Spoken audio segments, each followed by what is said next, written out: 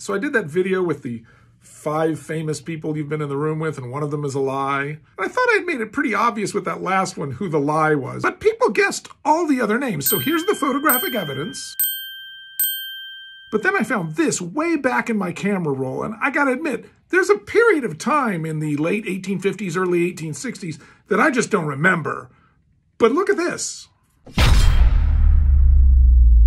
I don't know if that was taken at a party. I have no recollection of meeting John Wilkes Booth.